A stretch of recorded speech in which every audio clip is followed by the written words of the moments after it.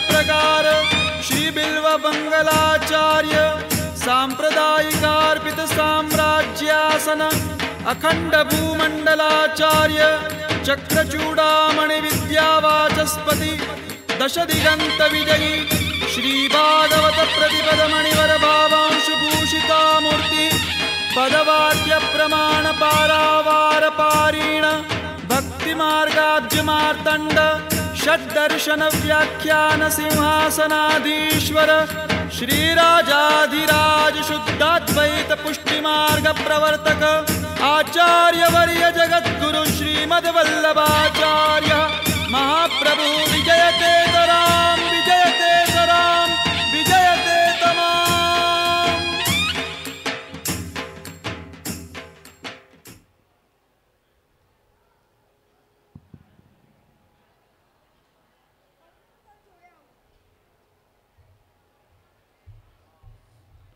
श्री वल्लभाधीश की जय।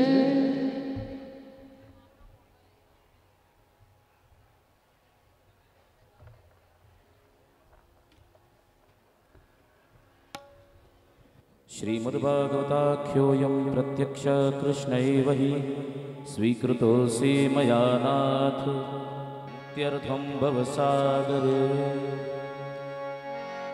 ભગવતે વાંગમય પુરાણ પુરુષોત્તમાય નમઃ ધ્યાયામિ ચિંતયામિ સકલોપચારાર્થે સર્વોપચારાર્થે ગંગાકરપુષ્પાણિ સમર્પયામિ ધૂપમ દીપમ નૈવેદ્યમ પુરુતો સંસ્થાપ્ય નીરાજનમ પ્રજ્વાલ્ય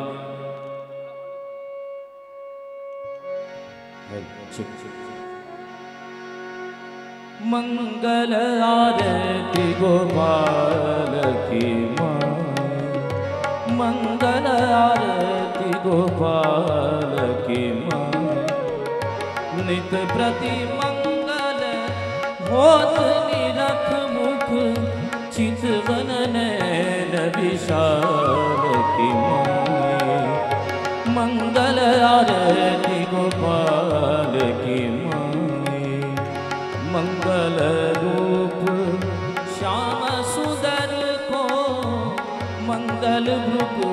सुभाल की माए चतुर्भुज प्रभु सदा मंगल निधि बानिक गिरिधर लाल की माए मंगल आरती मंगल आरती मंगल आरती गोपाल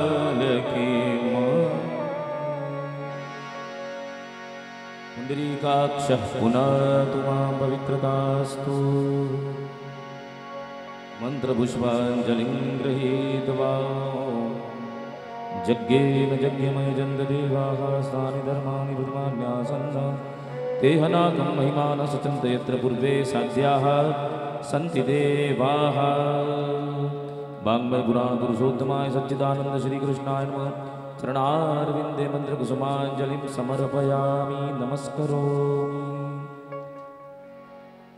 વૈષ્ણવને વિનંતી છે વંદન કરી સત્વરે આપણે સૌ મંચથી નીચે આવી જઈશું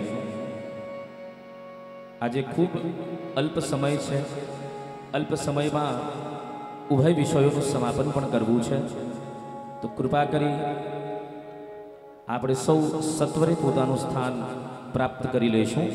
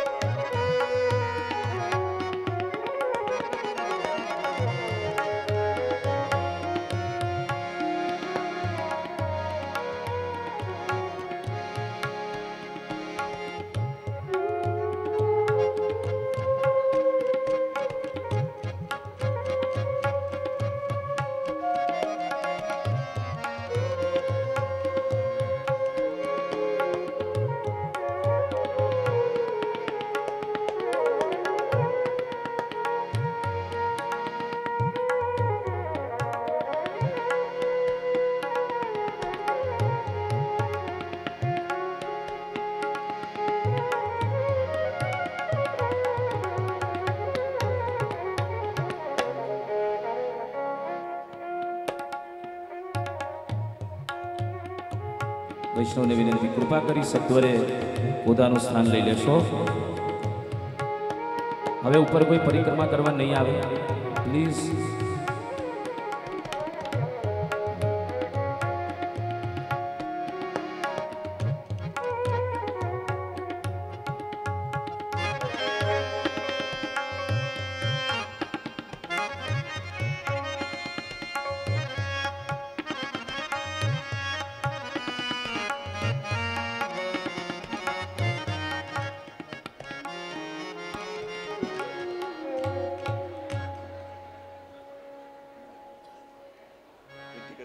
બોલ શ્રી વલ્લભાધીશ કી જય વૈષ્ણવ કૃપા કરી છેલ્લો દિવસ છે પછી ઘરે જઈને ખૂબ બોલ બોલ કરજો એક કલાક શાંતિ રાખી લો ને સાત દિવસથી રાખેલી શાંતિ ઘરે જઈ આચાર્ય પીઠ પર વિરાજમાન પરમ શ્રદ્ધે પૂજ્યપાદ ગોસ્વામી એકસો આઠ સિદ્ધનાથજી મોદયશ્રીના પુનિત પાવન યુગલ ચરણાર વિંદમાં સપ્તમ દિવસના ભક્તિ પોષણના વચનામૃત માટે આપણે સૌ વિનંતી કરીએ. એકવાર જયકાર કરીએ. બોલ શ્રી વલ્લભાધીશ કી જય.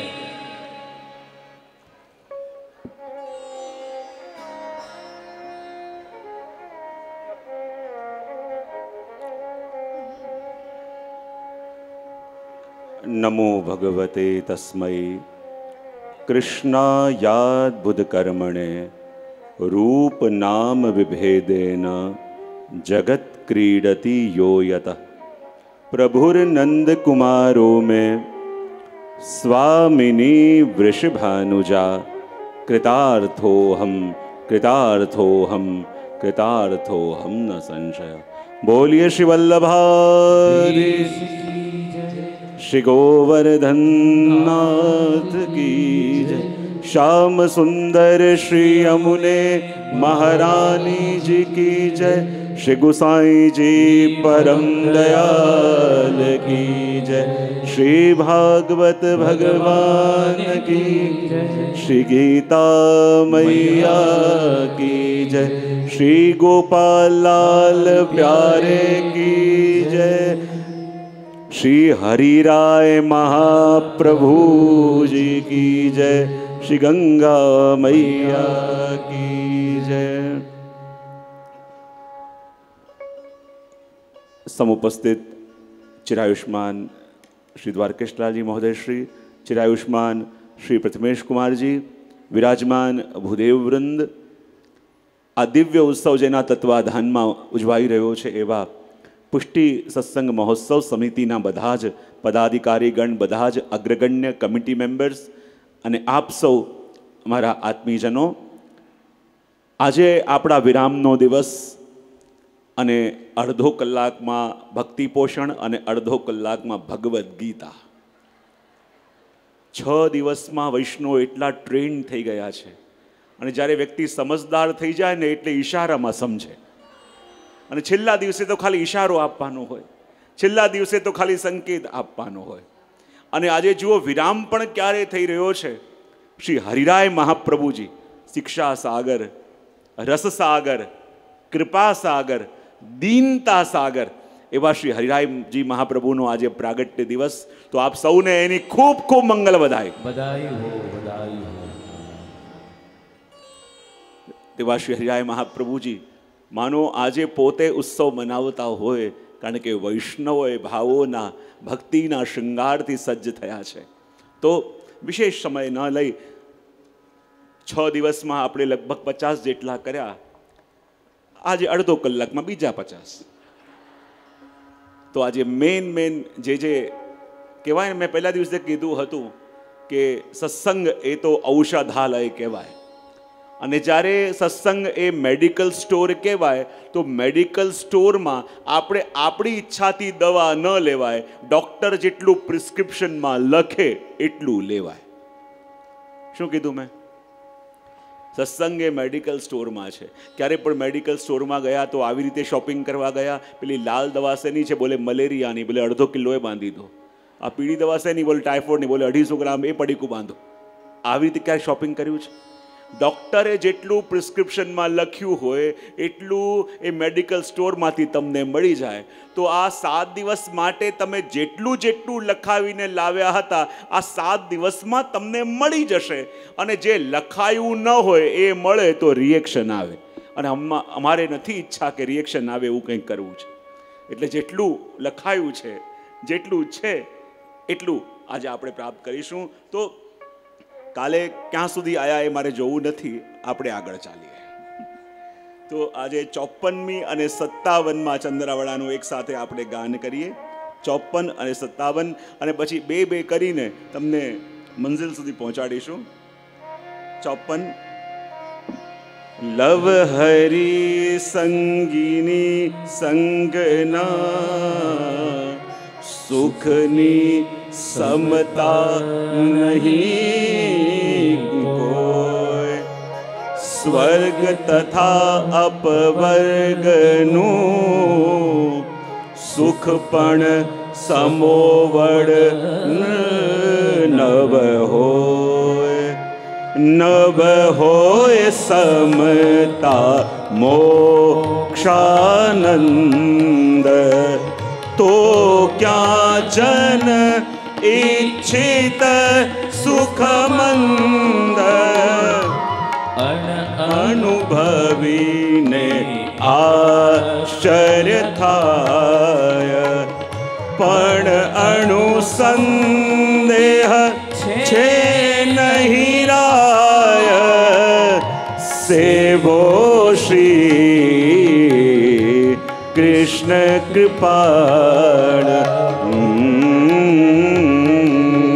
સત્તાવન.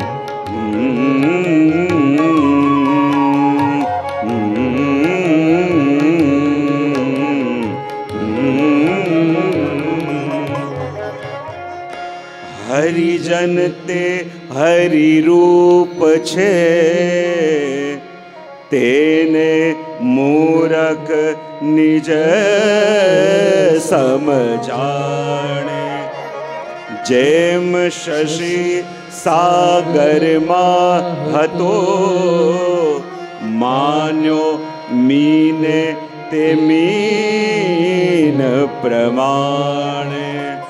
મીન પ્રમાણ થયો નથી સોમ. મકર રહ્યું ભોમને તે વસવોમાં. તેમ વૈષ્ણવ વૈકુંઠે જાશે અધમતે અહીંયા અહીં અથડાશે સેવો શ્રી કૃષ્ણ સેવો શ્રી કૃષ્ણ કૃપાળ સેવો શ્રી કૃષ્ણ કૃપાળ સેવો શ્રી.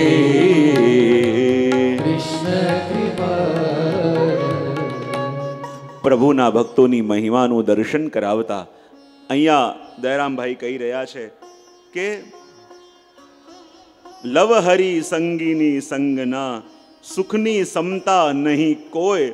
સ્વર્ગ તથા અપવર્ગનું સુખ પણ સમોવળ ન હોય. ન હોય સમતા મોક્ષાનંદ, તો ક્યાં જન ઈચ્છિત સુખમંદ.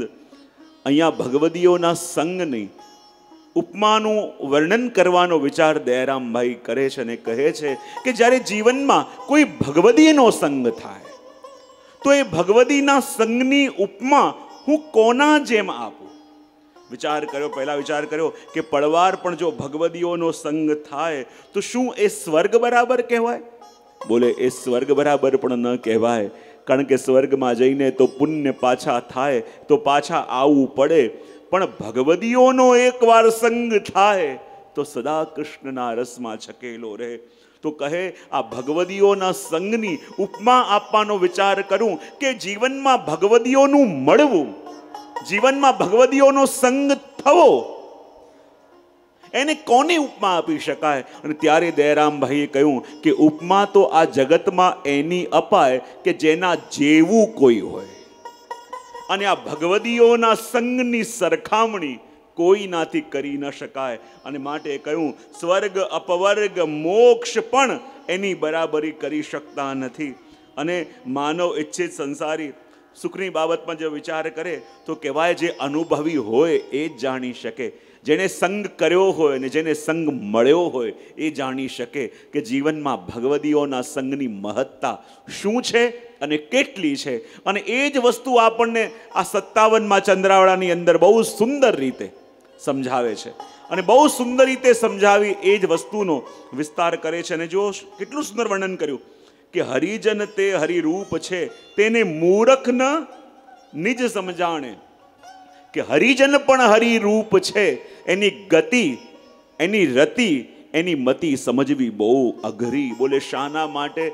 કારણ કે ભગવદી હજી આપણી વચ્ચે રહે છે. અને દુનિયામાં જે આપણને છોડીને ચાલ્યા ગયા હોય ને, એની કદર માણસ કરે, પણ જોડે રહેતા હોય, એની કદર કરવા તૈયાર?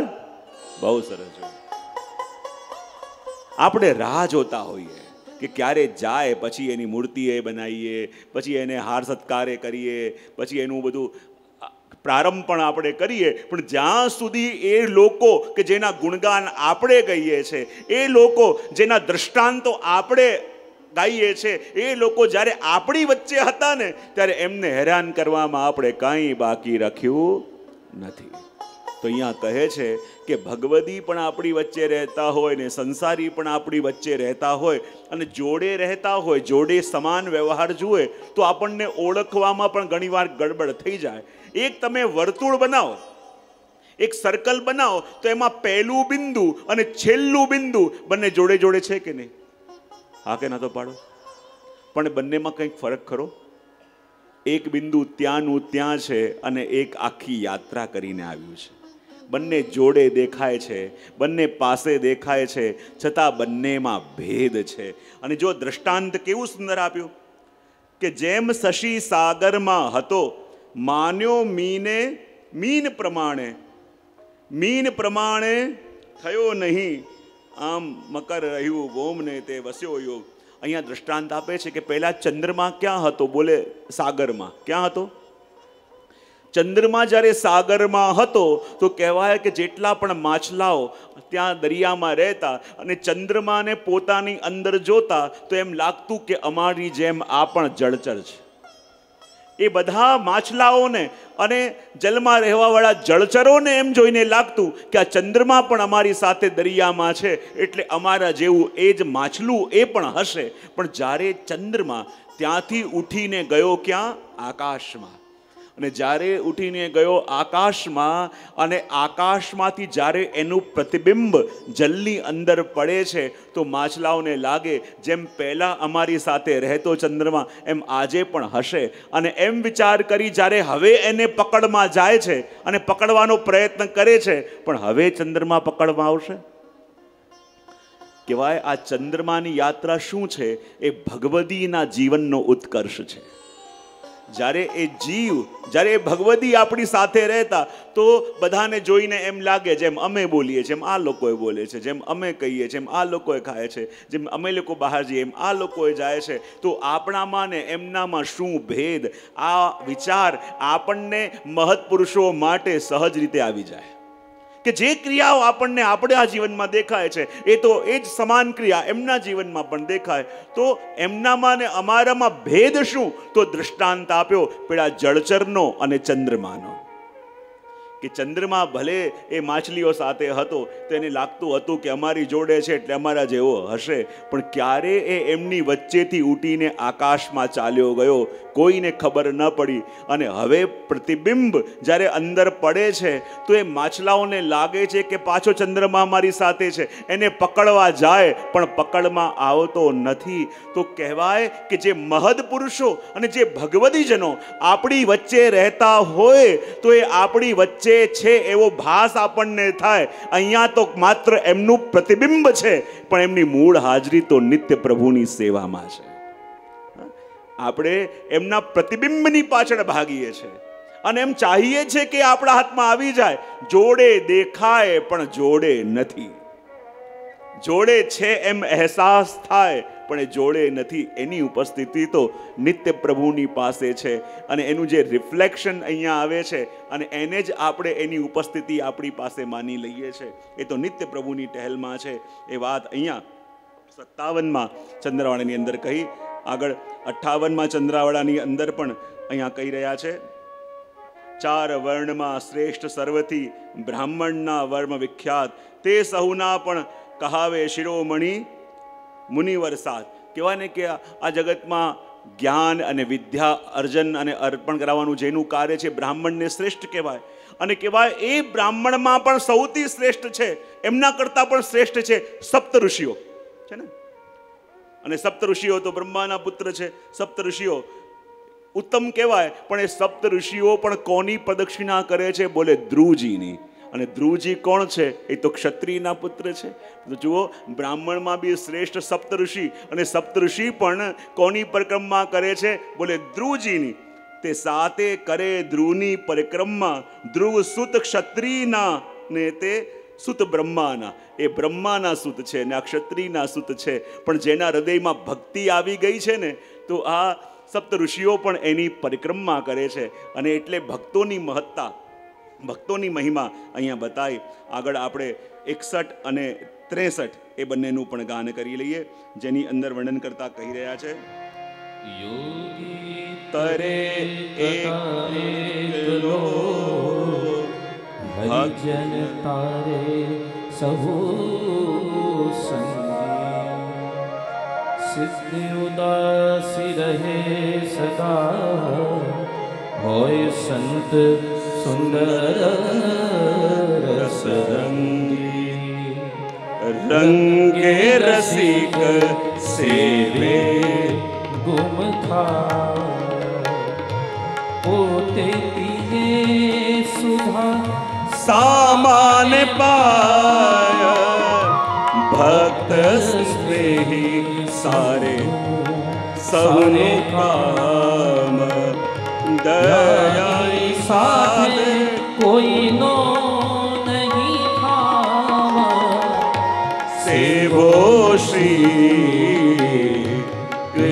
કૃષ્ણ કૃપાળ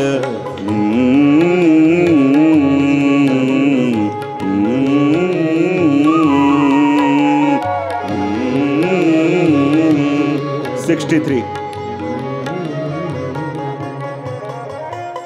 દુષ્ટ સંગત તેને જાણીએ જે ભૂલાવે ભગવંત સ્નેહ કરાવે કૃષ્ણ શું? તે તો કહીએ સાચા સંત. સંત સાચા તેની સંગતિ કરીએ. અસમર્પિત અન્યાશ્રયથી ડરીએ. હું હરિનો હરિ મારા એ નિશ્ચય મન સાથ સે શ્રી કૃષ્ણ કૃપા. સેવો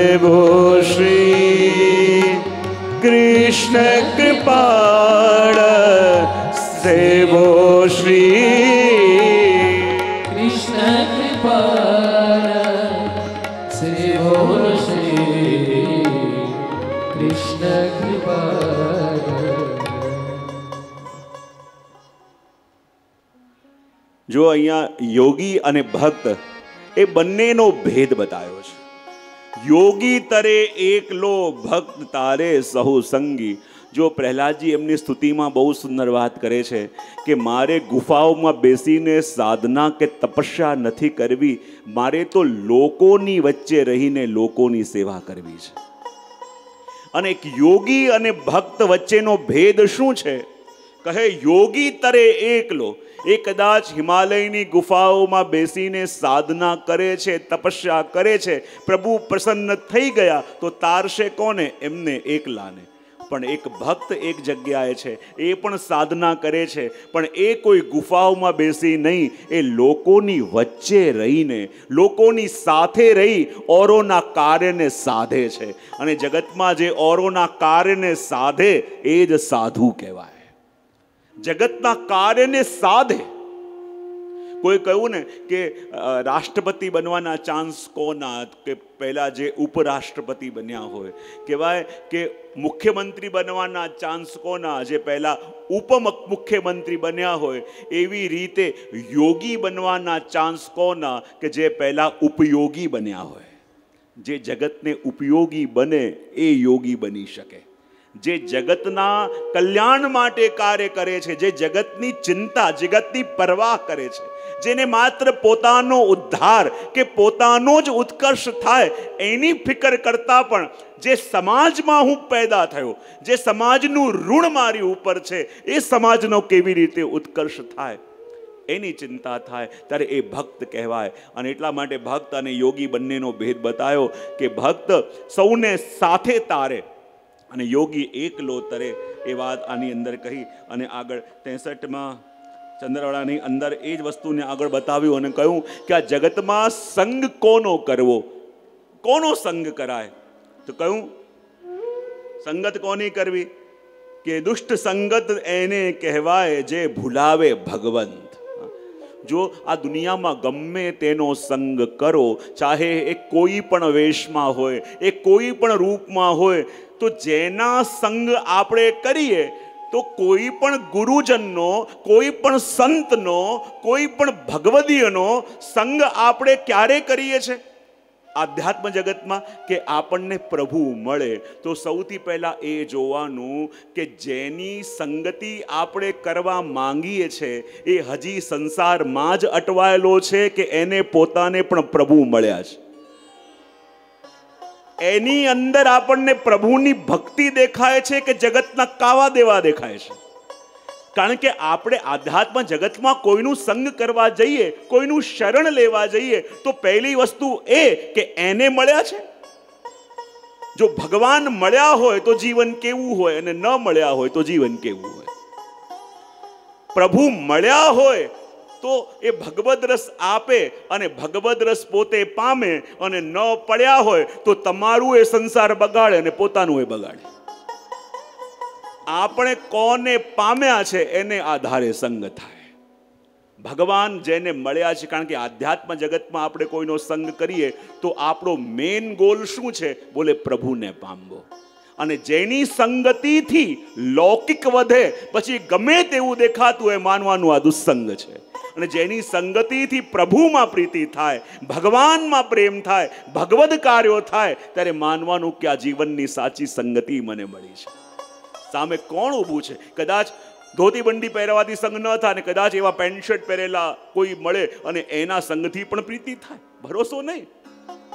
તો આ જગતમાં જેનો સંગ કરીએ, પહેલા ખાતરી કરીએ કે જે પ્રભુને અને જે અલૌકિકતાને હું પામવા માટે આવ્યો છું, એ અલૌકિકતા, એ શુદ્ધતા એ પ્રભુનો પ્રેમ એની અંદર છે. જો એની અંદર નહીં હોય તો મને કેવી રીતે આપશે? જેની પાસે હોય અને જેની પાસે જે હોય એ તમને આપી શકે. જે મેળવવા માટે આપણે ગયા એ વસ્તુ એની પાસે જ નથી તો તમને કેવી રીતે આપે? માટે કહ્યું કે સાચી સંગતિ એને કહીએ કે જે મિલાવે. દુસ્સંગત કોને કહીએ જે ભૂલાવે ભગવાન? જેના સંગથી આપણે કાવા દાવામાં પડીએ અને ભગવાન ભૂલાય તો માનવાનું આ દુષ્ટ સંગતિ છે. અને સ્નેહ કરાવે કૃષ્ણ શું? તે તો કહીએ સાચા સન. અને પ્રભુતિ પ્રીતિ કરાવે. પ્રભુમાં ભાવ વધારે. ત્યારે માનવાનું કે સાચો સંગ છે. એ વાત આપણને અહીંયા ત્રેસઠમાં કહી. અને આગળ આપણે સિત્તેર, સિત્તેરમું અને પંચોતેરમું ગાન પણ કરી લઈએ. અજબ ગુલ મહરી જડ વસે પક્ષિણી મુખ રટે હરિનામ. ખાન પાન મોઢે નવ કરે, મુખ થકી સુંદર શા શામે વિચારી કર્યું તેને સુખ ચરણ ચરવા મયુર નમો પૃચ્છે વદન કર્યું ઊંઠની ગ્રીવા શ્રી હરિયુક્તિ કરી જળ પીવા. સેવો શ્રી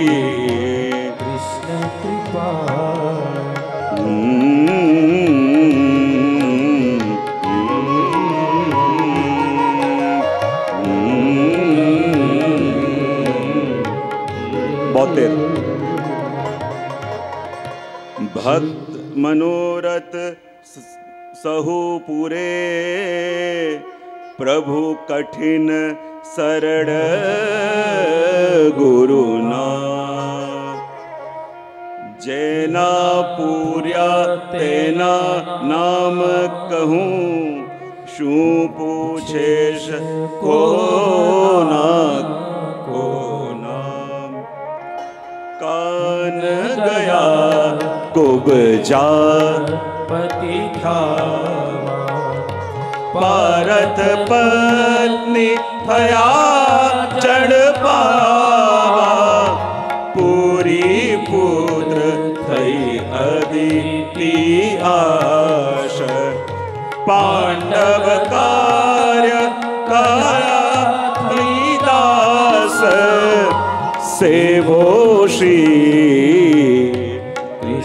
કૃપાળ સે શ્રી કૃષ્ણ કૃપા સેવો શ્રી કૃષ્ણ કૃપાળ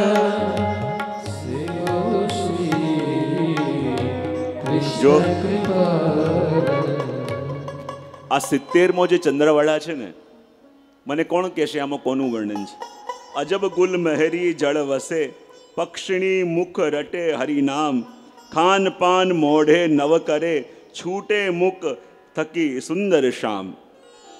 શામે વિચાર્યું, કર્યું તેનું એ સુખ, ચરણ ચરવા, કર્યું મયુરનું મુખ, પૂછે વદન કર્યું ઊંટની ગ્રીવા, શ્રી હરિયુક્તિ કરી જળ પીવા. આ કોનું વર્ણન છે?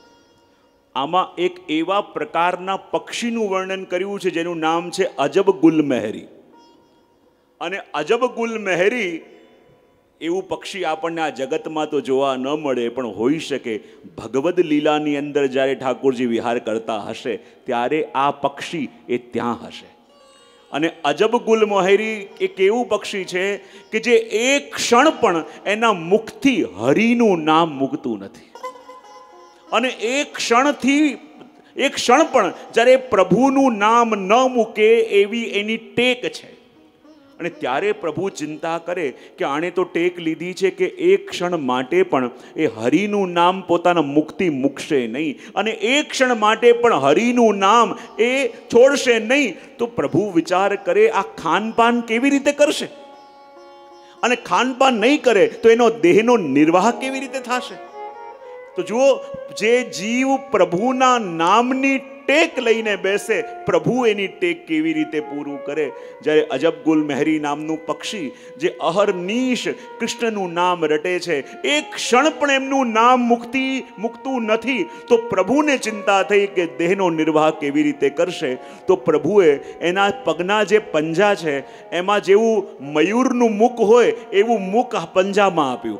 અને એની જે પૂંછ છે, એ પૂંછમાં ઊંટની સૂણ હોય એવી જીભ આપી અને એ જ્યારે મુખથી રટતું હોય, એની ટેક હતી કે એક ક્ષણ પણ હરિનું નામ મૂકવું નથી. તો જુઓ, પ્રભુએ મુખ એના પંજામાં આપ્યું અને પૂંછમાં એની જીભ આપી કે જલપાન પણ કરી શકે, હરિનું નામ રટી પણ શકે અને એનો દેહનો નિર્વાહ છૂટે પણ નહીં.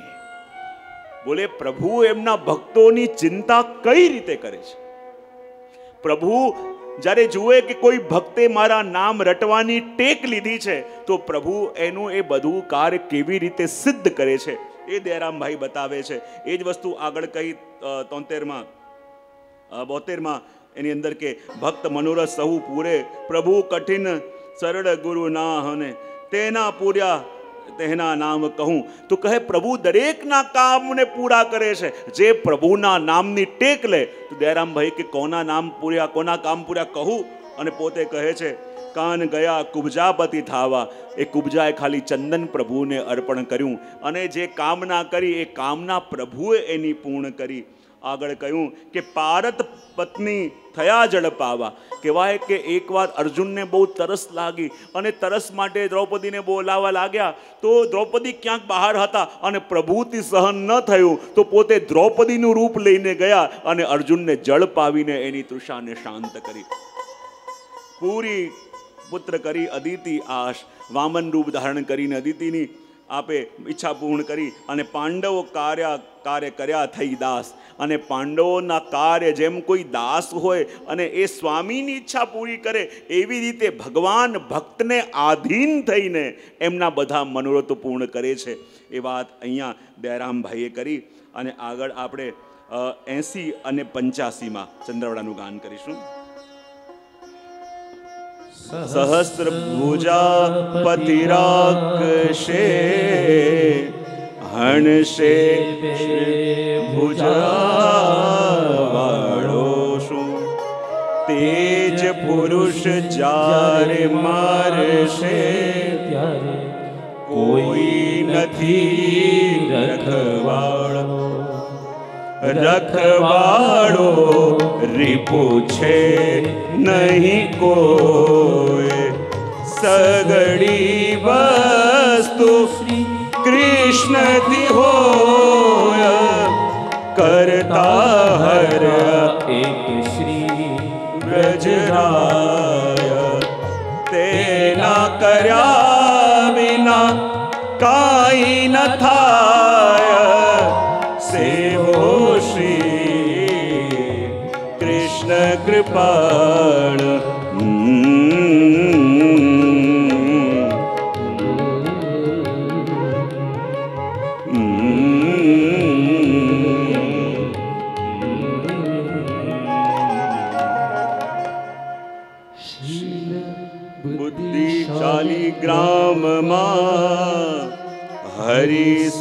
धाणे मनुष्य लहे गुरुदेव ने जाति भा वैष्णव आणे। आणे महा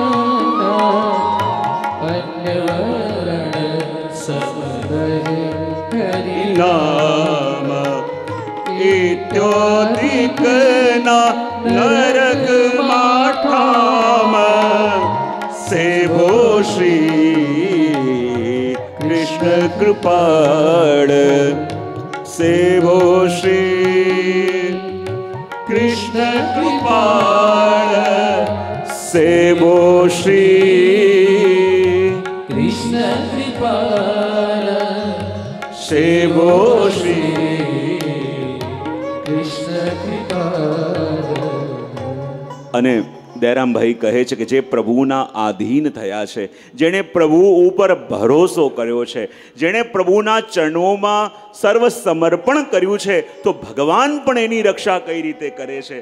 તો કહે છે, સહસ્ત્ર ભુજાપતિ રાખશે, હણશે શું બે ભુજવાળો? કહેવાય કે જેની પાસે અને જેના માથે અને જેની પાછળ એ સહસ્ત્ર ભુજાવાળો આવીને ઊભો હોય તો આ બે ભુજાવાળો ગમે તેવો કેમ ન હોય એ જીવનું શું બગાડી શકે? એટલે તો જ્યારે આપણને ખબર પડે કે જે પ્રભુની શરણે આપણે છીએ, એ આપણી સાથે અને આપણી પાછળ ઊભા છે, તો કોઈએ બહુ સુંદર કહ્યું કે આ દુનિયામાં તમારી સામે કેટલા થયા છે, તમારી સામે દુશ્મની કરીને કેટલા ઊભા છે, એનું કોઈ મહત્વ નહીં. જ્યારે તમે જાણતા હો કે તમારી પાછળ કોણ ઊભું છે. તમારી પાછળ કોણ ઊભું છે એ આપણને ખબર હોય તો આગળ કેટલા અને કોણ ઊભા છે એની કોઈ ચિંતા મનુષ્યને રહેતી નથી. જ્યારે એ જાણીએ કે આપણી સાથે આપણા પ્રભુ ઊભા છે. ત્યારે સામે દુનિયા કેમ ના ઊભી હોય, આખું જગત કેમ ઊભું ના હોય, તો પણ એને કોઈ ચિંતા રહેતી નથી. એ વાત અહીંયા કરી કે રખવાળો રીપું નહીં હોય સગડી વસ્તુ શ્રી કૃષ્ણની હોય. અને જ્યારે પ્રભુ જેને માથે બિરાજતા હોય, પ્રભુ જેના સાથે બિરાજતા હોય, પછી આ દુનિયામાં કોઈની તાકાત નથી કે એનું વાળ પણ વાંકું કરી શકે વાત કરી. અને પંચાસીમાં ચંદાવડાની અંદર કહી કે આટલી જગ્યાએ ક્યારેય પણ લૌકિક બુદ્ધિ નહીં લાવી. શાલીગ્રામજીની અંદર શિલાનો ભાવ આવે યા ગિરાજીની અંદર જો શિલાનો ભાવ આવે, ઘણીવાર વૈષ્ણવ આજ્ઞા લેવા માટે આવે કે જે જે ગિરાજીમાં જઈએ છે, તો ઉપર જવાની આજ્ઞા આપશો મંદિરમાં જવાની? ત્યારે હું ઘણીવાર કહેતો હોઉં કે તમે યાત્રા કરતા હો ચાલીસ દિવસ, ત્યારે માનજો કે તમે તપસ્યા કરી રહ્યા છો, સાધના કરી રહ્યા છો. ત્યારે ભલે એકવાર જીવનમાં એકવાર જઈએ તો ચાલે, પણ ખાલી ફરવા બે દિવસ માટે ગયા છે. એક દિવસ યમુનાજીમાં સ્નાન કરી લઈએ અને બીજા દિવસે ગિરાજીની ઉપર જઈએ મેં કહ્યું, હજી હું ગયો નથી અને મારું જવાનું મન થતું નથી. શ્રી ગિરિરાજીની ઉપર જે આપણા ઈષ્ટ છે, જે આપણા આરાધ્ય છે, એની ઉપર શું પગ રાખવાની હિંમત ચાલે?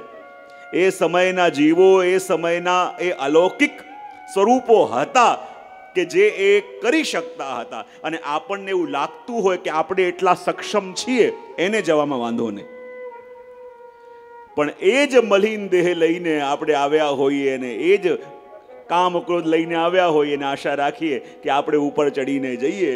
તો શ્રી ગિલાજ ગિરાજીમાં અને જ્યાં પ્રભુ કહે છે, શૈલોસ્મી, આ મારા જ સ્વરૂપ છે, આજ હું જ છું. તો પછી એ પ્રભુની ઉપર પગ કેમ મૂકા? એટલે જે જતા હોય વાત બરાબર છે, જેને એમ લાગતું હોય કે ના, જવું જોઈએ વાત બરાબર પણ આપણે એક વિવેક રાખો. જ્યારે આપણે ચાલીસ દિવસની વજરાત્રામાં હોઈએ, ત્યારે આપણે વજવાસી છીએ અને વજવાસી છીએ, ત્યારે એકવાર વાંધો ન આવે ત્યારે એકવાર આજ્ઞા લઈને, પરિશ્રમ ભોગ ધરીને, ક્ષમા માંગીને, કારણ કે આપણે કોની ઉપર પગ મૂકીને જઈ રહ્યા છીએ એ અહેસાસ આપણને હોવો જોઈએ. એટલે કહ્યું કે શાલિગ્રામજીમાં અને શિગરાજીમાં શિલાભાવ આવે એને ભગવદ અપરાધ માન્યો. હરિ સ્વરૂપની અંદર જ્યારે કહે ને કે મારા પ્રભુ બિરાજે છે અને કોઈ એમ પૂછે કે ચિત્રજી છે કે હસ્ત વસ્ત્રજી છે, હસ્તાક્ષર છે. જ્યારે ભગવત સ્વરૂપ કયા, પછી એમાં શિલાનો કે ધાતુનો ભાવ લાવો, એ બીજો ભગવદ અપરાધ. ભલે ઘરમાં ચિત્ત સ્વરૂપ બિરાજતા હોય, કોઈ પણ પૂછે કે કયું સ્વરૂપ બિરાજે તો કહેવાય, મારે ત્યાં શ્રી ગોવર્ધન ધરણ બિરાજે છે. કારણ કે પ્રભુએ ગીતાજીમાં જ કહ્યું છે ને જે યથામાં પ્રબંધ તામ સદૈવ ભજામ્ય હમ કે જે મને જે પ્રકારે ભજે છે હું એને એ પ્રકારે ભજું છું જે એમ માને મારા ઘરમાં ચિત્રજી બિરાજે છે તો હું એના ઘરમાં ચિત્રજી થઈ જાઉં અને જે એમ વિચારે છે મારા ઘરમાં વસ્ત્રજી બિરાજે છે એના ઘરમાં હું વ્યસ્તજી થઈ જાઉં અને જે એમ વિચારે મારા ઘરમાં સાક્ષાત નિકુંજ નાયક બિરાજે છે તો એના ઘરમાં હું સાક્ષાત નિકુંજ નાયક થઈને બિરાજું છું આપણો જેવો ભાવ પ્રભુ એવી રીતે આપણને પ્રતિસાદ આપે છે અને કહ્યું કે હરિસ્વરૂપમાં ધાતુનો ભાવ ગુરુની અંદર મનુષ્ય બુદ્ધિ લાવી યા લૌકિક બુદ્ધિ લાવી એ પણ ભગવત અપરાધ. જ્યારે કોઈ વૈષ્ણવ આવીને પોતાનો પરિચય આપે કે અમે વૈષ્ણવ છીએ અને એને પૂછવું તમે કઈ જ્ઞાતિના? તો એ ભગવદ અપરાધ બનાવ્યો છે. જ્યારે એ વૈષ્ણવત્વના આવેશમાં છે જ્યારે એ પોતાને વૈષ્ણવ કરીને ઓળખ આપે છે અને વૈષ્ણવ કરીને ઓળખ આપે અને ત્યારે તમે જો એની જ્ઞાતિ પૂછો ને, તો એને ભગવદ અપરાધ આપણે ત્યાં માન્યો છે. કારણ કે તમે એના વૈષ્ણવત્વના આવેશને તોડી રહ્યા છો. ચોથું કહ્યું, જ્યારે કોઈ મહાપ્રસાદ આપે અને મહાપ્રસાદની અંદર આપણે એમ કહીએ કે આ ભાવ્યું, ન ભાવ્યું, તો મહાપ્રસાદની અંદર જો આ ભોજનનો ભાવ આવે તો એને પણ ભગવદ અપરાધ માનવામાં આવે. જ્યારે કોઈક વસ્તુને આપણે મહાપ્રસાદ કહીએ અને મહાપ્રસાદમાં ભોજનનો ભાવ આવે તો એને ભગવદ અપરાધ કહેવાય. ઠાકોરજીના ઝારીજીનું જલ, ઠાકોરજીના સ્નાનનું જલ, એને સાધારણ જલ આપણે માનીએ તો એ પણ ભગવદ અપરાધ. અને કહેવાય કે પ્રભુનું નામ છે તો ભગવાનમાં અને ભગવાનના નામમાં કોઈ ભેદ નથી. ભગવાનના નામને સાધારણ શબ્દો માનવા એને પણ ભગવદ અપરાધ માનવામાં આવ્યો છે. આ બધા ભગવદ અપરાધ આપણે ત્યાં મનાયા છે. માટે પંચ્યાસીમો જોઈ અને આગળ આપણે નવ્વાણું, નવ્વાણુંમો ચંદ્રવાળા જોઈએ. જેની અંદર દયારામભાઈ કહે છે કે આ ભક્તિ પોષણ શા માટે લખવું પડ્યું? આપણને લાગે આપણા આપણા આટલા દિવસથી સાંભળીએ છે. પણ આ ભક્તિ પોષણ દયારામભાઈએ લખ્યું કેમ? તો આ નવ્વાણું સો અને એકસો એક. આ ત્રણેયનું ગાન આપણે કરી લઈએ અને એનું દર્શન આપણે કરીએ. મહામંદમતિ સર્વશાસ્ત્ર ક્યાં ખોળે? માટે સકલ સિદ્ધાંત સાર. શોધી કીધો છે ટોળે. ટોળે કરાવ્યો પ્રભુ મતિ દીરી. નિજ જન જાણીને કરુણા કીધી. ભક્તિ પોષણ થયું ગ્રંથનું નામ કથે સુણે સરે સેના કામ સેવો શ્રી કૃષ્ણ કૃપાળ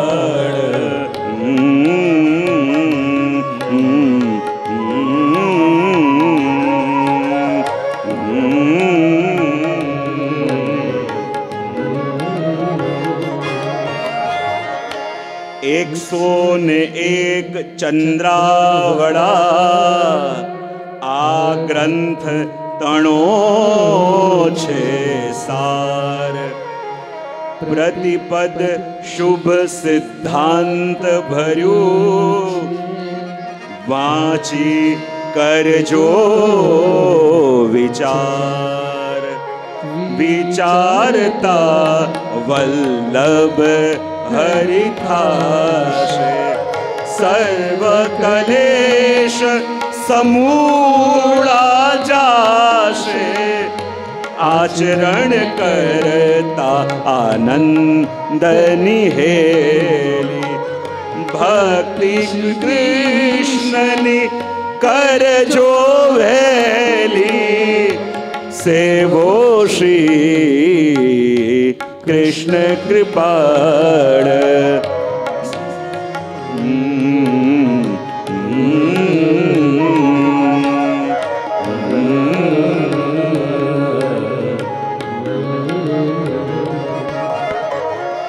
મહાનદી શ્રી નર્મદા તટે ચંડીપુરી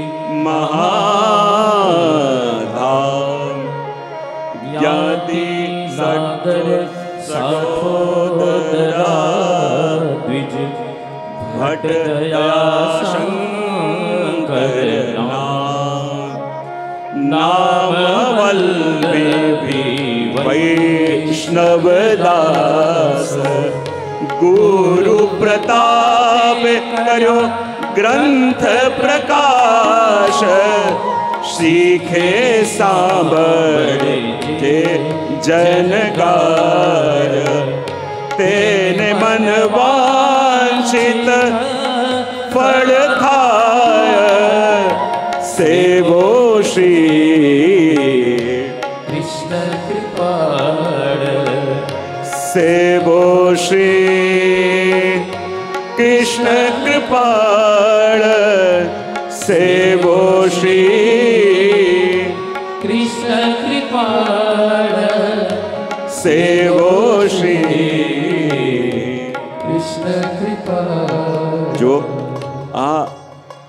નવ્વાણું, સો અને એકસો એક. એમાં દયારામભાઈએ આ ગ્રંથ કેમ લખ્યો? કોના માટે લખ્યો? એનું પરિચય પણ આપ્યો અને એકસો એકમાં ચંદ્રવાડામાં પોતાનો પરિચય પણ આપ્યો અને કહ્યું, મહામંદ ગતિ જીવ કલીના, તે સકલ શાસ્ત્ર ક્યાં ખોળે? આજે આપણને કોઈ કહે કે આપણા માર્ગને જાણવું છે, તો ગીતા, બ્રહ્મસૂત્ર, ભાગવત, ઉપનિષદ, વેદ, એ બધા દર્શન કરો. પણ કે આ કલિકાલના જીવો પાસે ન તો એટલો સમય છે અને ન બધું જોવાની ઈચ્છા છે.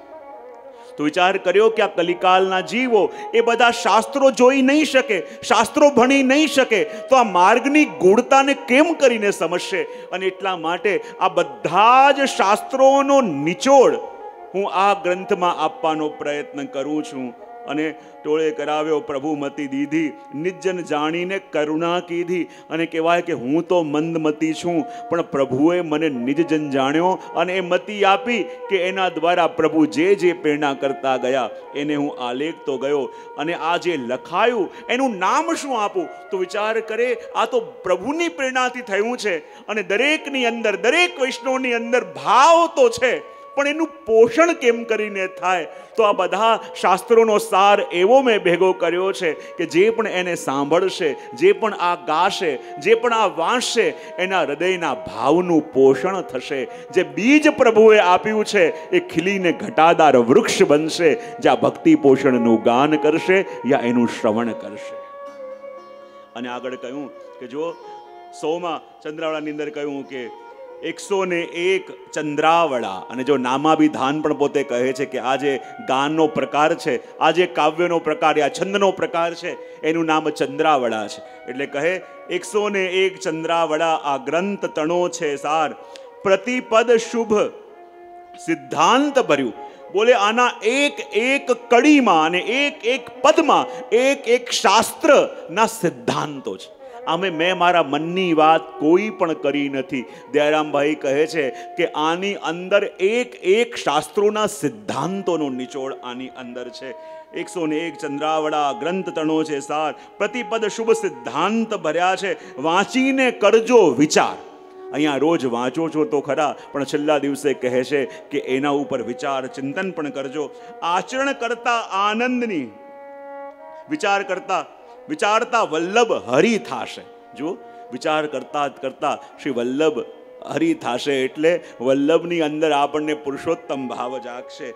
અને સર્વ ક્લેશ સમૂળા જાશે. અને જે પણ મનની અંદર પ્રશ્નો છે, જે પણ મનની અંદર ઉદ્વેગ છે, એ બધા આ ભક્તિ પોષણના ગાનથી અને શ્રવણથી નિર્મૂલ થશે અને આચરણ કરતા આનંદની હેલી. અને જો આના ઉપર આચરણ કરશો, તો જીવનમાં સદા આનંદની હેલી બનેલી રહેશે અને ભક્તિ કૃષ્ણની કરજો વહેલી. અને આ ભક્તિ પોષણ શ્રવણ કરીને હવે કહેજો જીવનના આટલા વર્ષો તો ગયા તે ગયા, પણ હવે મારું એક પણ ક્ષણ કૃષ્ણ સેવા અને કૃષ્ણ સત્સંગ વિના ન જાય એનો સંકલ્પ પણ કરજો. અને એકસોના એકમાં ચંદ્રાવડામાં દયારામભાઈએ પોતાનો પરિચય આપ્યો કે મહાનદી શ્રી નર્મદા તટે ચંડીપુર મહાધામ, કે નર્મદાજીના તટ ઉપર ચંડીપુર એટલે ચાણોદ.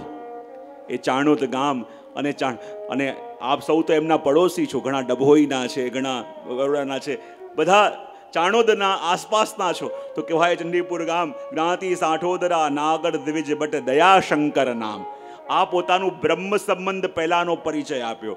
અને કહે કે બ્રહ્મ સંબંધ પછીનો મારો પરિચય શું? તો કહે, નામ વલ્લભી વૈષ્ણવ દાસ ગુરુ પ્રતાપે કર્યો ગ્રંથ પ્રકાશ શીખે સાંભળે જે જન ગાય? તેને મન વાંછિત પડતા સેવો શ્રી કૃષ્ણ કૃપા નામ વલ્લભી વૈષ્ણવદાસ. અને જ્યાં બ્રહ્મ સંબંધ લીધું, પછી કોઈ એમને પૂછે, તમારું નામ શું? તો કહે કે, મારું નામ વલ્લભી છે. વલ્લભી જીવ છું. અને તમે શું કરો છો? બોલે, હું વૈષ્ણવનો દાસ છું. ગુરુ પ્રતાપે કર્યો ગ્રંથ પ્રકાશ. અને આ ગ્રંથનું વર્ણન કે વિસ્તાર કરવાનું સામર્થ્ય મારી અંદર નહીં. મારા ગુરુદેવની કૃપાને કારણે આ ગ્રંથ પ્રગટ કર્યો. અને કહે કે આ ગ્રંથ જે છે, એની અંદર પ્રભુની કૃપા પણ છે, શાસ્ત્રોની કૃપા પણ છે, અને ગુરુની કૃપા પણ છે. અને માટે જે શીખે, સાંભળે, જે જેને ગાય, તેને મન વાંછિત ફળ થાય. અને ત્રણેયની કૃપા ભરી છે. માટે આ ભક્તિ પોષણ ગ્રંથ કલ્પવૃક્ષની જેમ છે. જે એને શીખે, જે એને સાંભળે અને જે એને ગાય છે, તો પ્રભુ એના સર્વ અલૌકિક મનોરથો સિદ્ધ કરે છે. એ વાતની ખાતરી દયારામભાઈએ આપણને આપી. અને જો ખાતરી ખાલી નામથી આપતા હોય ને તો તકલીફ થાય. દયારામભાઈ એટલા બધા શ્યોર છે. જાણે કહેતા હોય કે જેને સંશય હોય, આવીને મળજો. પોતાનું નામે આપ્યું, એડ્રેસે આપ્યું ને ગામે આપ્યું છે. ખાતરી આપતા હોય એવી પરિચય આપીને કહે છે કે જે શીખે, સાંભળે, જે જેને ગાય, તેને માન વાંછિત ફળ થાય. જો આ ગત સાત દિવસોથી આપણે બધા ભેગા મળી શીખ્યું પણ છે, સાંભળ્યું પણ છે અને ગાયું પણ છે.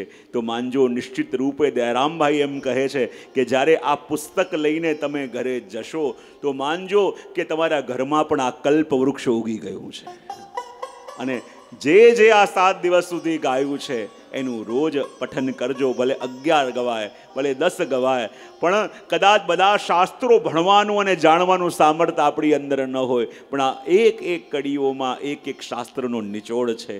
એનું ગાન કરજો. તો સર્વ મનનું વાંછિત ફલ પ્રભુ કૃપા કરીને આપશે. તો આ સાત દિવસની યાત્રાને આજે વિરામ તરફ લઈ જવાનું છે. આ ભક્તિ પોષણ જે સવારનું સત્ર છે એને વિરામ આપણે આપીએ છીએ. ક્યારે પૂર્ણાહુતિ તો હોય નહીં, વિરામ અલ્પ વિરામ હોય ક્યાંક ને ક્યાંક આ ગાન થતું જ હોય.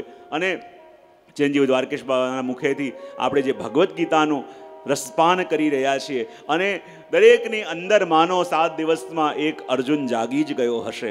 અને એ અર્જુનને જગાવીને જીવનના જે પણ યુદ્ધો આવે એ યુદ્ધોમાં આપણે પોતે સક્ષમ બની, પ્રભુને સાક્ષી માની અને દરેકને પાર પાડીએ. એ જ કામના કરું છું અને આ આયોજનની અંદર જે જે પણ જોડાયા અમારા કે જે ભાઈ અને ચિરાગભાઈ બધા, એમના માટે એકવાર જોરદાર તાલીઓ પાડીશું આપણે.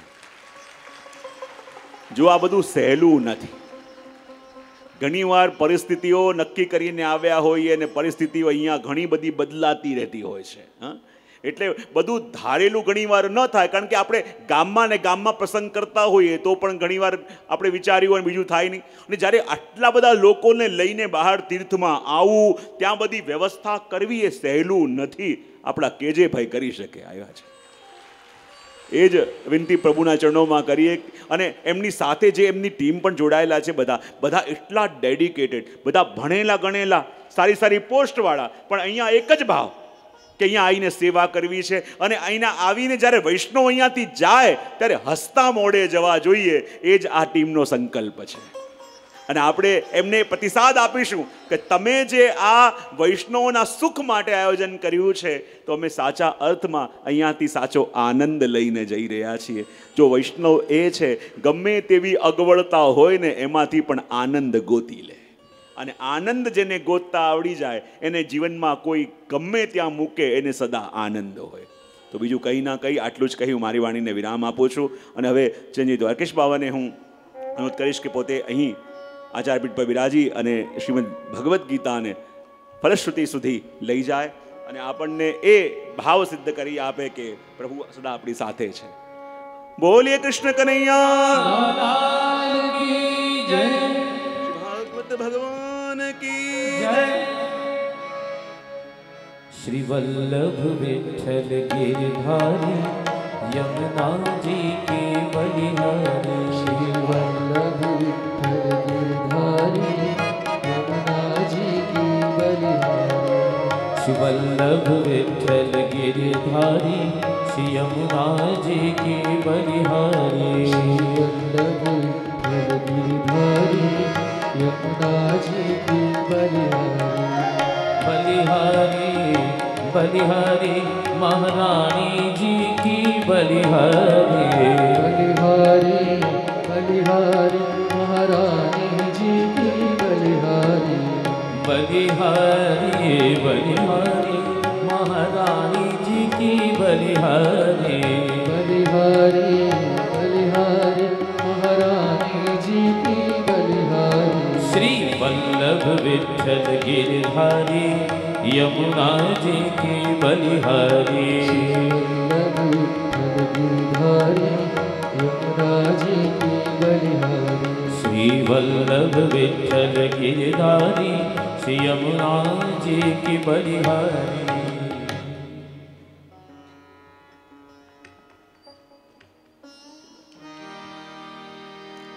श्री गोवर्धन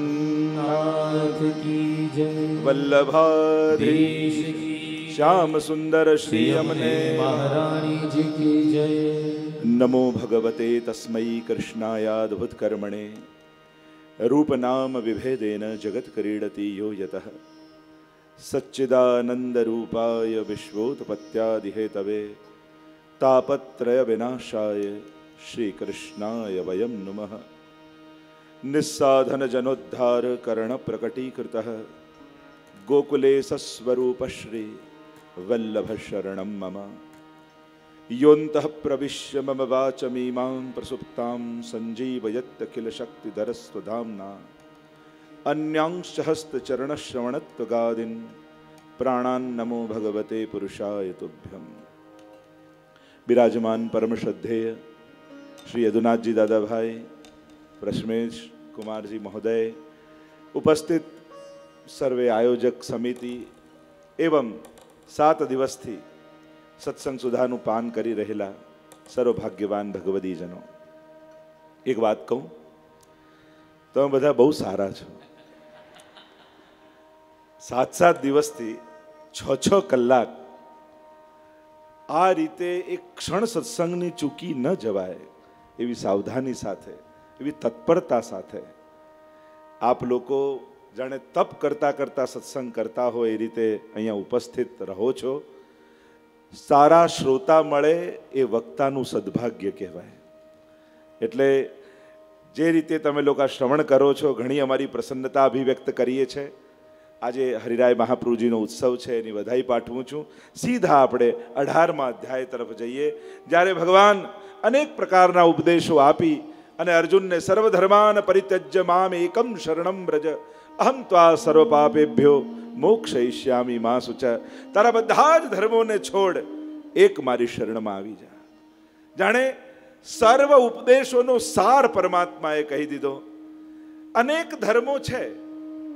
માણસ જન્મે ત્યારથી એના વિવિધ પ્રકારના ધર્મો શરૂ થાય.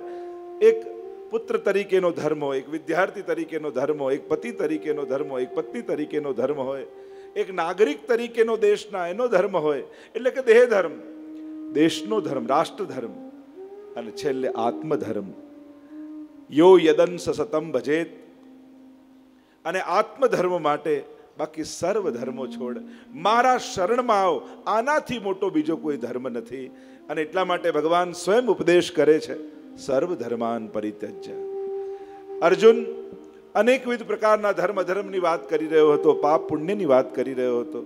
પરમાત્મા કહે, જો આ બધા વિચારોમાં પડીશ, તો જે સ્વધર્મ છે ને ચૂકી જઈશ.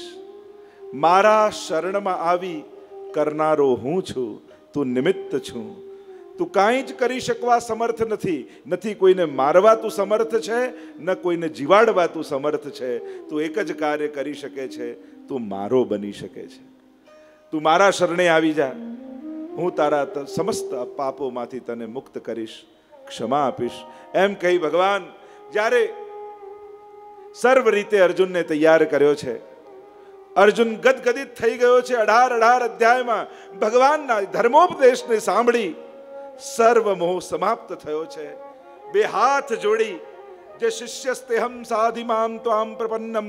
ત્યાંથી શરૂ થયેલી યાત્રા અર્જુનની અને આ ક્ષણે ફરી દંડવત પ્રણામ પરમાત્માને કરી. નેત્રો ગદગદિત થયા છે. રોમ રોમ રોમાંચિત થયો છે. ત્યારે શોકથી હતાશ હતો. હવે જ્ઞાનથી ફરી એ સુરાતન જાગ્યું છે. જાણી ગયો છું. હું તો નિમિત્ત માત્ર છું. હું તો સાધન માત્ર છું. હું તો પરમાત્માનો એક કાર્ય કરતા છું. પરમાત્મા જ અંતઃકરણમાં બિરાજી અને આ સર્વ કંઈ કરનારા છે. હું પોતાને સમજતો હતો, લડનારો, મારનારો, બચાવનારો, એ જ મારું અજ્ઞાન હતું. હું કાંઈ જ કરી શકું એમ નથી. જીવનું એક જ કર્તવ્ય છે, ભગવાનની શરણે જતા રહેવું. અને બે હાથ જોડીને અર્જુન છેલ્લે કહે છે, નષ્ટો મોહ. મારો મોહ ગયો. ભગવાને આટલા બધા ઉપદેશો આપીને કાર્ય શું કર્યું? અર્જુનના મોહને માર્યો. નષ્ટો મોહ સ્મૃતિર્લબ્ધા સ્મૃતિ પાછી આવી છે. જે વિચારવું જોઈએ એ વિચારો જાગી ગયા છે. નહોતું વિચારવું એ બધા જ વિચારો હાવી હતા. તો જે કરવા જેવું હતું એ ભૂલી ગયો, ન કરવા જેવા કાર્યમાં લાગી ગયો. મને મારા આત્મતત્વનું જ્ઞાન થયું છે. નષ્ટો મોહ સ્મૃતિર્લબ્ધા લબ્ધા પણ એ મારો પુરુષાર્થ નથી. હું તો મોહમાં ફસાયેલો હતો. કિમ કર્તવ્ય વિમૂઢ હતો. તત્પ્રસાદાન મયા અચ્યુત આ આપની કૃપાથી થયું છે. અમુક વસ્તુઓના ઉકેલ આપણે જાતે નથી કાઢી શકતા. કોઈની કૃપા અને કોઈના આશીર્વાદ, કોઈનું જ્ઞાન અને કોઈનો ઉપદેશ જીવનમાં ઘણીવાર જરૂરી થઈ જાય છે. કારણ કે આપણે એવા ગૂંચવાયેલા હોઈએ છીએ ને કે આપણને ભગવાને આંખો એવી આપી છે ને કે પોતાની જાતને નથી જોઈ. આજ સુધી દુનિયામાં કોઈએ પોતાનો ચહેરો જોયો છે? અરીસાનો ઉપયોગ કર્યા વગર. આપણે હંમેશા આપણા પ્રતિબિંબ જોયા છે, આપણો ચહેરો નથી જોયો. અને એટલા માટે કોઈ ગુરુ રૂપ અરીસો જોઈએ, કોઈ ઉપદેશ રૂપ અરીસો જોઈએ, કોઈ ગ્રંથ રૂપ અરીસો જોઈએ, તો જ આપણી જાતને આપણે જોઈ શકીએ. બાકી દુનિયાના આજ સુધી કોઈ માણસે પોતાનો ચહેરો પોતાની આંખે સીધો નથી જોયો. યા ફોટો જોયો હશે યા પ્રતિબિંબ જોયું હશે? એટલે સામે કોઈ આવા ગીતાજી જેવો ગ્રંથ આવે, ભગવાન જેવો કોઈ સમર્થ મહાપુરુષ મળે, નષ્ટો મોહ સ્મૃતિર્લબ્ધા તત્પ્રસાદાન મયા અચ્યુત સ્થિતોસ્મી આ બહુ મોટી વાત છે, સ્થિર થઈ જવું. જ્યાં સુધી લાઈફમાં ક્લેરિટી ના હોય, ત્યાં સુધી સ્થિરતા પણ ના આવે. વિચલિત હતો દ્વંદ્વમાં ફસાયેલો હતો. ભગવાન વારે ઘડીએ કહે દ્વંદ્વૈન વિમુક્તા, દ્વંદ્વમાંથી મુક્ત થા. અર્જુન કહે, ભરોસો આવ્યો ને તો સ્થિરતા પણ આવી ગઈ. દુનિયાના બધા જ સ્થાનો અસ્થિર છે. કોઈ દુનિયાનું પદ યા સ્થાન એવું નથી જે કાયમ માટેનું હોય. કારણ કે આપણે પોતે કાયમ માટે નથી. બધા ડગતા છે. જો લૌકિક રૂપી કુર્સી છે ને એ ત્રણ પાયા, લૌકિક ત્રણ પાયાની કુર્સી છે. ત્રણ પાયાની ખુરશી પર બેસો તો કોઈ ડગ્યા જ કરે ને. પણ આગળ અ લાગી જાય તો ચાર પાયા થઈ જાય. અલૌકિકતાના સ્થાન પર બેસી જાઓ તો સ્થિરતા આવી જાય. સ્થિતોસ્મી ગત સંદેહ. શ્રદ્ધા જાગી તો સંદેહ ગયા. શરણાગતિ આવી તો શંકા ગઈ. મોહન મળ્યા તો મોહ મરી ગયો.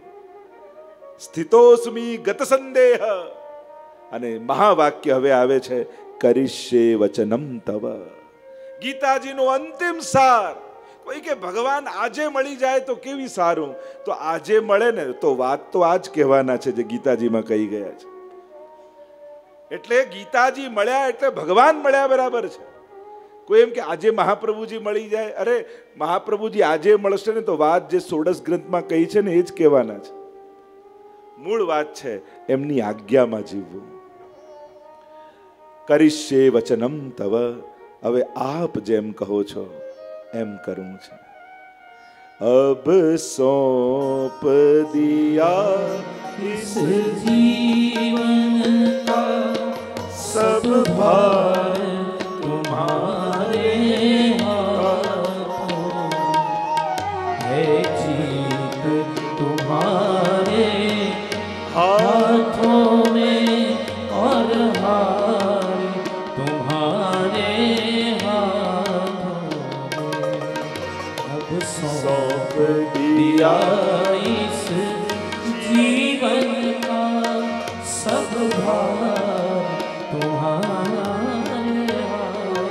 હે પ્રભુ, આપની શરણમાં છું. હવે હાર હોય, જીત હોય, પાપ હોય, પુણ્ય હોય, સત્કર્મ હોય, અસત્કર્મ હોય, હવે બધું આપના ચરણ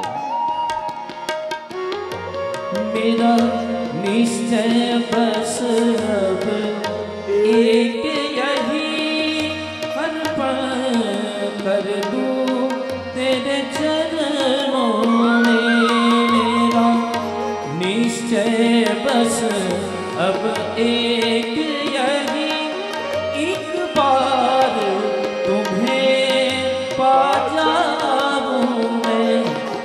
अर्पण कर दो दुनिया भर का सब प्यार तुम्हारे हाथों अब सौंप दिया इस जीवन का सब भार तुम्हारे हाथों सर्व समर्पितम भक्त्या कृतार्थोसी सुखी भव। महाप्रभु जी आज्ञा करते हैं, सब कुछ सौंप कर सुखी हो जा। पकड़ रखोगे, वहाँ तक ही दुख है। धर दोगे तो सुख ही सुख जो जग में रहूँ तो ऐसे रहूँ, जो जग में कमल का फूल रहे। मेरे अवगुण दोष समर्पित हो। गोपाल तुम्हारे चरणों में अब सौंप दिया इस जीवन का सब भार तुम्हारे चरणों नष्टो मोह स्मृतिर्लब्धा तत्प्रसादान्मयाच्युत स्थितोस्मि गत संदेह કરિષ્યે વચનમ તવ અને ભગવાન જ્યાં કહી રહ્યા તસ્માદ ઉત્તિષ્ઠ કોંતેય યુદ્ધાય કૃત નિશ્ચય ફરી લીધું ગાંડવ હાથમાં પ્રતંચાનો અવાજ કર્યો છે પરમાત્મા આજ્ઞા કરો પહેલા કોને મારવાના છે યુદ્ધ માટે તૈયાર થયેલો અર્જુન એક એક બાણ છોડવા માટે તૈયાર થયો નથી કોઈ ભીષ્મ નથી કોઈ દ્રોણ નથી કોઈ સ્વજન નથી કોઈ શત્રુ કેવલ ધર્મનો અધર પર પર વિજય કરવાનો છે મારો ભગવાન જીતી જાય, મારો અધર્મ હારે અને ધર્મ જીતી જાય. હવે આ યુદ્ધ મારું કહેનું નથી, હવે આ ધર્મ યુદ્ધ છે. જે નથી મરવાનો, એને કોઈ મારી શકવાનું નથી, અને જે નથી જીવવાનો, એને કોઈ જીવાડી શકવાનું નથી. આ મારી ઈચ્છા કે કોઈની ઈચ્છા નથી, પરમાત્માની ઈચ્છા છે કે હું યુદ્ધ જીતું, હવે મને કોઈ હરાવી શકે. અને ત્યાં વ્યાસજી અંતિમ ગીતાજીનો વિરામ આપતા કહે, ત્યાં સંજય કહી રહ્યા છે, યત્ર યોગેશ્વર કૃષ્ણ, યત્ર પાર્થો ધનુર્ધર, તત્ર શ્રી વિજયો ભૂતિર ધ્રુવા નિતિર મતિર મમ, જ્યાં કૃપારૂપ કૃષ્ણ છે અને જ્યાં કર્મરૂપ અર્જુન છે. યત્ર યોગેશ્વર કૃષ્ણ, યત્ર પાર્થો ધનુર્ધર. ધનુર્ધર કહ્યું છે, કેવલ પાર્થ નહીં, પણ જે કર્મ માટે તૈયાર છે એવો ધનુર્ધર, તત્ર શ્રી વિજયો ભૂતિર ધ્રુવા. નિતિર મતિર મમા. જ્યાં બેનો સમાગમ છે, કર્મ પાંગળો છે એકલો. અને ખાલી કૃપાના આધાર પર બેસેલો વ્યક્તિ એ ભગવાન જોડે અન્યાય કરી રહ્યો છે. જીવનમાં કેવળ નિષ્ક્રિય થઈને કૃપાના ભરોસે રહેનારા, ઘણીવાર મોટા મોટા કાર્યોમાં લોકો શિથિલતા એમ કરે, ભગવાનની કૃપા થશે ને તો કરીશું. પણ આપણે ભૂલી જઈએ, કદાચ આ કામ માટે ભગવાન મારા ભરોસે બેઠો હોય તો? ક્યાંક પ્રભુ આ કાર્ય કરાવવા માટે પ્રભુ મારી પ્રતીક્ષા કરતો હોય તો? કર્મ કરનારે એ રીતે વિચારવું કે પરમાત્મા આ કાર્ય માટે મારા ભરોસા પર છે. અને એના પર ભરોસો રાખી અને કર્મ જ્યારે કરો છો, ગમે તેટલું ઉત્તમ ધાબુ હોય, અસારો પતંગ હોય, દોરી હોય, પણ પવન જ ન હોય તો પતંગ ચડે? કૃપા વગરનું કર્મ પણ આવું છે. બધું જ કરો, પણ ભવનની ભગવાનની કૃપાનો પવન ન હોય ને, તો પતંગ ચડતા નથી હોતા. એટલે પ્રત્યેક સફળતાનો યશ પરમાત્માને આપજો. કર્મ પૂરી નિષ્ઠાથી કરજો. પણ પ્રભુનો પવન સારો હતો ને, તો આપણા જેવા ફાટેલા પતંગો આકાશમાં ચડી ગયા. અને પવન ન હોય તો સારામાં સારો પતંગ હોય, હાથ દુખી જાય પણ ચડે નહીં. એટલે આ બંનેનો સુભગ મિલન જ્યારે થાય કૃપા અને કર્મનો તત્ર શ્રી વિજયો ભૂતિર ધ્રુવા नितिर मतिर ममा और यहाँ गीता जी की इस गाथा को मैं समाप्ति की ओर ले जाता हूँ પરમાત્માએ મોહમાં ફસાયેલા દ્વંદ્વમાં ફસાયેલા અર્જુનને પોતાની બ્રહ્મ વિદ્યાનો ઉપદેશ કરી ફરી કર્મમાં રત કરી પણ હવે કર્મ જુદા પ્રકારનું છે હવે કર્મ છે ઈશ્વર પ્રેરિત એક છે ભગવાન મારી સાથે છે એક છે ભગવાન મારી માટે છે અને એક છે ભગવાન મારી માથે છે. જેમ માને કે ભગવાન મારી માટે છે, એટલે ભગવાનને કામ જ બતાયા કરે, આ કરી આવો, આ કરી આવો મારી માટે જ છે ને. એક કે કર્મ હું કરીશ, પણ ભગવાન મારી સાથે છે ને, મને ચોક્કસ વિજય મળશે. અને ભગવાનના ભરોસે કર્મ કરે, પણ વૈષ્ણવ શું વિચાર કરે? ભગવાન મારી માટે નહીં, મારી સાથે નહીં, ભગવાન મારી માથે છે. અને જેમ વસુદેવજીના માથે ભગવાન આવી ગયા ને, તો આપમેળે બેડીઓ ખુલી ગઈ દ્વારપાલો સૂઈ ગયા, યમુનાજીએ માર્ગ આપ્યા અને છેક કેદખાનામાંથી ગોકુળના નંદ મહોત્સવ સુધી પહોંચી ગયા. એમ આપણે બધા જ સંસારની કેદમાં છીએ, પણ જો ભગવાનને માથે પધરાવી લઈશું ને, તો આપણો પણ વાસ ગોકુલમાં થઈ જશે અને જીવનની રોજની સવાર એ નંદ મહોત્સવના આનંદ સાથેની થઈ જશે. તો આમ કારાગ્રહથી કેદથી કૃષ્ણ સુધીની યાત્રા, ગોકુલ સુધીની, ઉત્સવ સુધીની યાત્રા, ઉદાસીનતાથી ઉત્સવ સુધીની યાત્રા એ શ્રીમદ ભગવદ્ ગીતા છે. અને જ્યારે એના પર ભરોસો આવી જાય છે, ત્યારે જીવન કંઈક જુદું થઈ જાય છે. કર્મ કરતા કરતા પણ ક્યાંય ન બંધાતા. અને જે કંઈ પ્રસાદ રૂપે ફલ મળ્યું એ ઠાકોરજીને ધરી અને એનો પ્રસાદ લઈ ગમતાનો કરીએ ગુલાલ, વાંટીને આનંદ માણવાનો ઉત્સવ. અને એ વિદ્યા એ આ ભગવદ્ ગીતાની વિદ્યા છે. બહુ મારી પ્રસન્નતા અભિવ્યક્ત કરું છું. અમારા કેજે ભાઈનો મનોરથ અને એમની ભાવના થકી ફરી ફરી આ રીતે આપણે મળવાનું થાય છે. ઠાકોરજી કરશે તો જલ્દી કોઈ ને કોઈ નિમિત્ત સાથે ફરીમાં મળવાનું થશે. એમની તો ભાવના ખૂબ જ છે. થોડા સંજોગો બધા અનુકૂળ થઈ અને આપણે પુનઃ આ રીતે આપણે એકત્રિત થઈને, કારણ કે એકમાત્ર આ સત્સંગ એવો છે કે જેમાં અમને બંનેને સાથે સાત દિવસ રહેવાનું મળે છે. તો સાથે અને આપશ્રીને શ્રવણ કરવાનો લાભ આપણને મળે છે. તો આપણે બધા તો ભાગ્યશાળી છીએ કે આ ચંદ્રાવાળાનો આનંદ આપણે બધાએ ભક્તિ પોષણના માધ્યમથી લીધો. સાથે સાથે ભગવદ્ ગીતાજીના જ્ઞાનનો, કારણ કે ગીતાજી તો એવો અદ્ભુત ગ્રંથ છે કે આ તો ઘણી ગહન ચર્ચાઓ આમાં છે. પણ આપણે આપણા સ્તરે સમજી શકીએ. એ લેવલ ઉપર આપણે બધાએ ચર્ચા કરવાનો પ્રયાસ કર્યો. બસ આ ભગવદ્ ગીતા એ આપણા જીવનનું પ્રધાન એક પથદર્શક બની જાય અને ભગવદ્ ગીતાજીમાં ભગવાને જે માર્ગ આપણને બતાવ્યો છે, એ માર્ગ ઉપર આપણે બધા સાથે ચાલી શકીએ. હવે જલ્દીથી જલ્દી આપણે પાછા નવેમ્બર મહિનામાં વડોદરા ખાતે મધુરાષ્ટક, અહીંયા મહાત્મ્યનું દર્શન કર્યું. ત્યાં માધુર્યનું દર્શન આપણે બધા કરીશું. કે અમારો ઠાકોરજી જેટલો મહાત્મ્યવાળો છે એટલો એ માધુર્યવાળો છે. તો એમ મધુરાષ્ટકનું સાથે અમારા ભરતભાઈ નીલાંબર ગ્રુપ દ્વારા સુંદર આયોજન, અભૂતપૂર્વ આયોજન થવા જઈ રહ્યું છે. તો જલ્દીથી જલ્દી જ્યારે પાસ મળે તો લઈ લેજો. એમ તો બધા પાસ જ છો. પણ છતાં કારણ ખાસ હોય એને પાસની જરૂર ના પડે. પણ છતાંય આજે વ્યવસ્થાનો એક ભાગ હોય છે. અહીંયા પણ જેણે જેણે વ્યવસ્થામાં ભાગ લીધા. એ સર્વ લોકોને ઠાકોરજીની કૃપાના અધિકારીએ થાય. કારણ કે અત્યારે ફ્લાઇટ છે એટલે શીઘ્રતાથી જવું છે. કથાને વિરામ આપતા બોલો ગોવર્ધન. વલ્લભાધીશ. ગીતા મૈયા ગંગા મૈયા બોલો ગોપાલાલ ઓમ પૂર્ણમદ પૂર્ણમિદમ પૂર્ણાત પૂર્ણમુદચ્યતે પૂર્ણસ્ય પૂર્ણમાદાય પૂર્ણમેવાવશિષ્યતે. ઓમ શાંતિ. શાંતિ શાંતિ.